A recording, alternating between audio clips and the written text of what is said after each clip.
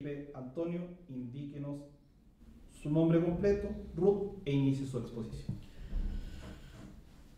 Buenos días, mi estimado. Gracias, en primer lugar, por la oportunidad. Mi nombre es Felipe Antonio Palma Germani, RUT 13.724-749-6. Yo soy técnico jurídico, corredor de propiedades, curso de Administración General de Empresas, diplomado en Protege Propiedad Urbana, egresado Derecho profesor en Derecho Chileno, tasador inmobiliario y dedicado al rubro legal y transportes, donde tengo mi flotilla de vehículos. Em, les quiero dar, en primer lugar, antes de iniciar mi exposición, las gracias ah, por, por dejarme participar en esta audiencia pública eh, sobre el tema constituyente. Em, mi tema que me tocó fue título de la Audiencia de Derecho, Propiedad, Designación de Jueces y Fiscales y Fomento al Emprendimiento y Asegurar la Propiedad de Bienes Corporales e Incorporales. Yo estoy, y lo quiero decir de forma preocupado por el futuro del país. Eh, me interesa aportar lo más probable. En primer lugar, de acuerdo a la, al kit de presentación que se me llegó, yo me declaro en contra, en contra de de, voy a votar en contra.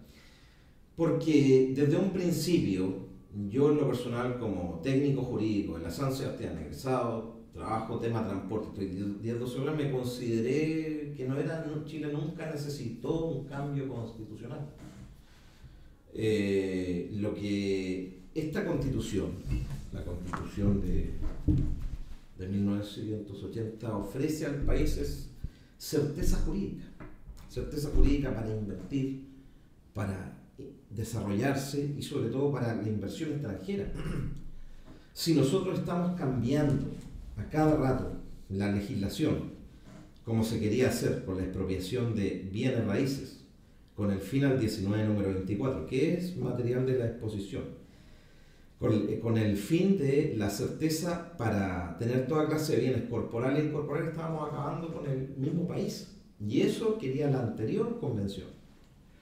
Ahora, de acuerdo a, y aquí me voy a apoyar un poco en el profesor don Gonzalo Arenas Oda, abogado, que se refiere a los nuevos 12 bordes constitucionales. Ojalá. Eh, eh, yo voy a rechazar, o sea, voy a votar en contra porque dentro todo lo, todo lo anterior, lo anterior a la antigua constitución se mantiene, ¿no es cierto?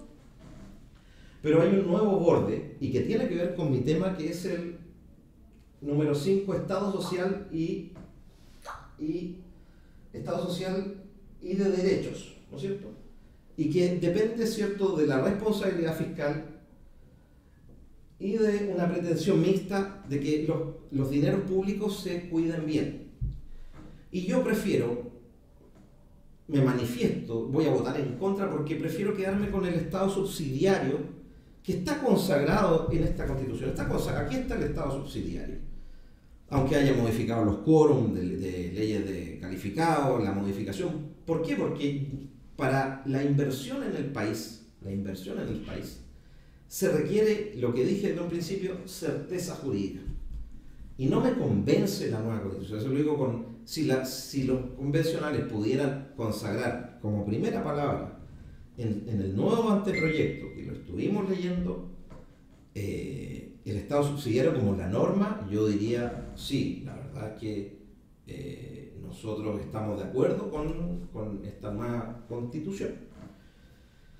Em, eso más que nada en cuanto al derecho de propiedad. ¿Por qué lo afecta? Porque el propio presidente del Partido Comunista que es un partido totalitario, que hemos visto la destrucción que causaron el 18, dijo que la nueva constitución podía ser habilitante y este Estado social, este, este nuevo concepto, puede habilitar para crear ese tipo de estados.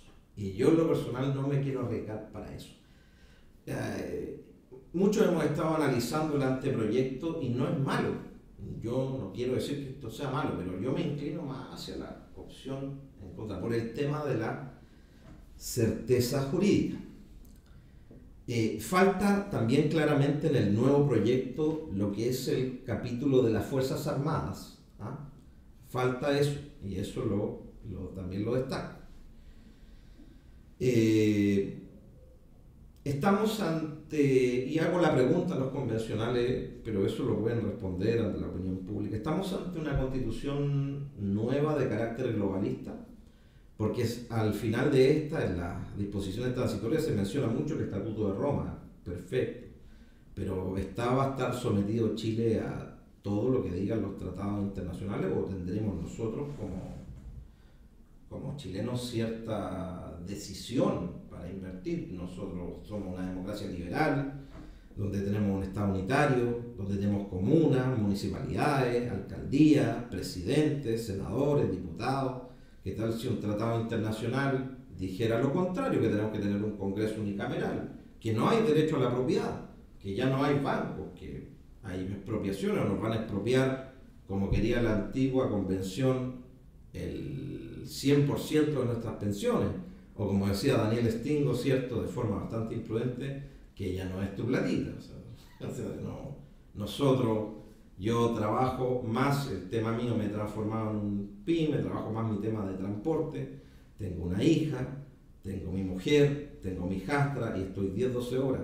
¿Qué pasa con todo este tipo de normas internacionales, la llamada S? Que no tiene nada que ver con mi tema de exposición, pero vamos a adoptar, y ese tema también me va a alterar lo que es el derecho de propiedad. ¿Mm? Ese es mi, mi cuestionamiento. Y eso es porque yo también me cuesta eh, afirmarme y decir eh, voy a votar a favor, es un anteproyecto positivo, es un, es anteproyecto globalista. Eh, y está bien, yo la verdad no tengo, pero globalista, pero pienso que nosotros debemos ser abiertos en cuanto al comercio y no en cuanto a las ideologías que pueden interrumpir todo el andamiaje jurídico y la tradición de más de 50 años de, esta actual constitución, que se une a, los 200 años de historia republicana. Para ir avanzando en mi tema, no es, eh, quería dar el tema, avanzar hacia el siguiente tema, la designación de jueces y fiscales. Designación de jueces y fiscales. Estaríamos de acuerdo en establecer en el capítulo del Ministerio Público, que está en el anteproyecto, o la modificación del actual, que los jueces no fueran de por vida, porque de repente tenemos fallos o jueces que fallan de, a veces de forma errónea y están de por vida. Podríamos tener un, un sistema de elección popular de jueces y fiscales y de revocación en el caso que ellos eh, fallaran o hicieran eh, prevaricación ¿Se podría consagrar aquello en, el nuevo proyecto? Y es una pregunta y es una propuesta que le hago a los convencionales. Gracias, mi Eso em, y aseguramiento de, las, de los, eh, de los eh, lo que es el, los bienes corporales. Incorporaré, también estuve mirando lo que es el recurso de protección en paro, que se mantienen como acciones populares. Para terminar, eh, reitero, me manifiesto en contra van quedando justo dos minutos, por fundamentalmente el tema de la certeza jurídica en los temas vistos. Yo prefiero votar en contra, aunque el anteproyecto no es malo, no es malo, no, no he dicho que es malo, pero por el fenómeno de la certeza jurídica y todo lo que ha pasado en cuanto a la propiedad, en cuanto a la designación de jueces, yo prefiero votar en contra y dejar todo este tipo de materia leyes simples, ordinarias, de quórum Muchas gracias, don Felipe, por su presencia y participación en este acto significativo para el desarrollo de nuestra Constitución. Gracias.